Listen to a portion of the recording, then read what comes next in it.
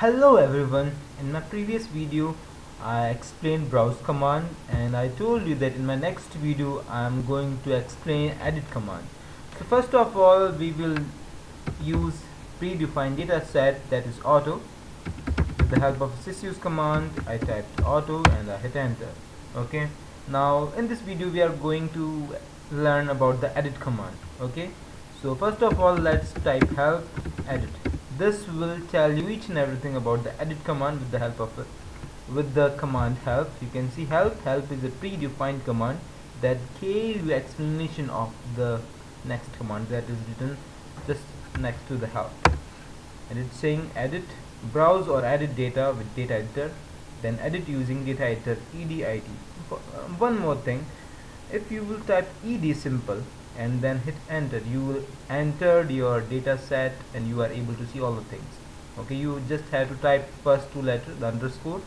If you will type edi also then sure you are able to see that. Okay now let's type edit and then I hit enter and I see all data set is the same. And we can think about that previously we saw the browse command and the output is as the same. Okay? So let's type browse and then hit enter. Uh, request to change mode. You are currently in edit mode. Do you want to change to browse mode?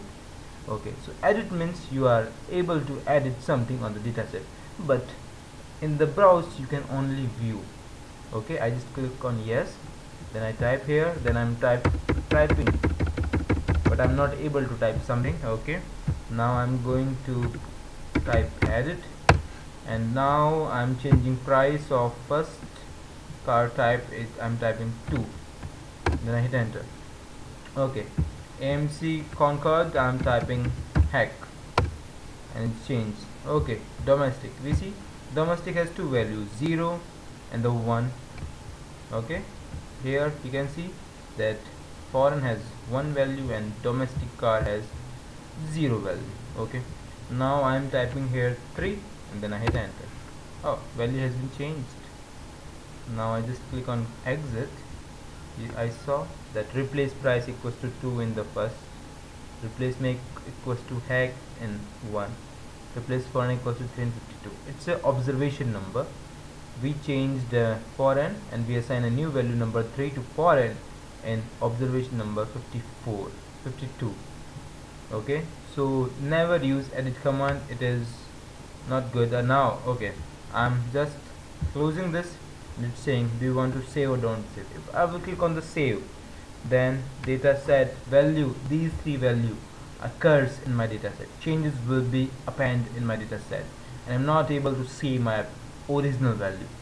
So never use edit command. It's uh, just a command but don't use edit command in the stata because after changing after making any kind of changes if I will click on yes then I'm not able to go back as we can go in the Excel but we can't go in the stata so always use browse command never ever use edit command.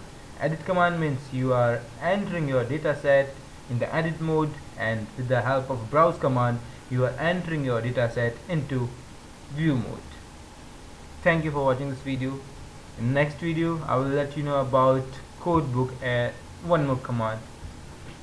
Thanks for the day